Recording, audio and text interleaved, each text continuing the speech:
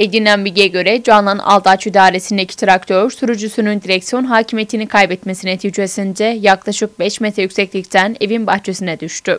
Traktörün altına kalan Canan Aldaç olay yerinde hayatını kaybetti. İhbar üzerine olay yerine gelen polis ekipleri tarafından olay yerine yapılan incelemelerin ardından Altac'ın cenazesi morga kaldırıldı. Kazayla ilgili soruşturma başlatıldı.